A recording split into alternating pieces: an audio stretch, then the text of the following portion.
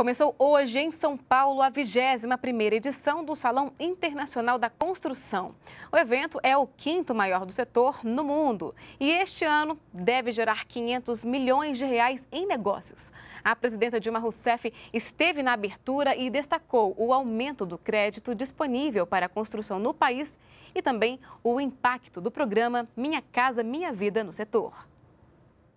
A feira é considerada referência para o setor de construção civil na América Latina. Apresenta produtos, novas tecnologias e gera negócios. Hoje pela manhã, a presidenta Dilma Rousseff visitou o evento e ressaltou que nos últimos quatro anos o crédito disponível para a construção passou de 138 bilhões de reais para quase 500 bilhões.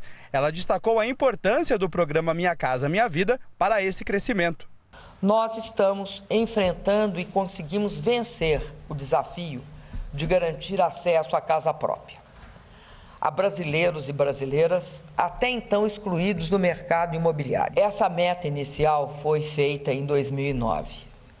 Nós começamos a contratar em 2010. Nós estamos no início de 2015. Nós na segunda etapa do Minha Casa Minha Vida, passamos de, dois, de 1 milhão para 2 milhões e 750 mil. E hoje, nós conseguimos entregar, nós conseguimos entregar a chave para as famílias de 2 milhões, um pouco mais de 2 milhões, porque todo dia o número muda, de 2 milhões e 80 mil famílias.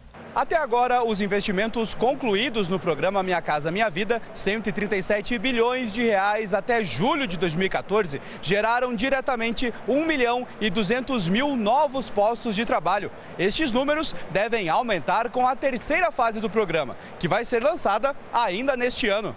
Nós teremos a oportunidade de construir, o governo federal, 6 milhões e 750 mil casas habitacionais. Desafio alguém a encontrar qualquer outro lugar do mundo que tenha, em algum momento da sua história, conseguido atingir um patamar tão expressivo de construção de unidades habitacionais voltadas, em especial, àqueles menos favorecidos. Dados da Associação Nacional dos Comerciantes de Material de Construção, Anamaco, indicam que o segmento representa 8% do produto interno bruto PIB, que é a soma de bens e riquezas produzidos pelo país. O setor é o quarto maior gerador de empregos do Brasil. São cerca de 13 milhões de pessoas contratadas, com remuneração quase 12% maior do que outros setores da economia. A presidenta Dilma destacou que a construção gera melhorias em vários setores da sociedade. Construção de casas e apartamentos pelo Brasil afora significam demanda para materiais de construção. Significam melhoria de vida das pessoas, mais dignidade. Porque quando eles recebem uma chave, eles não recebem só a chave, eles recebem a possibilidade de um caminho de segurança para suas famílias.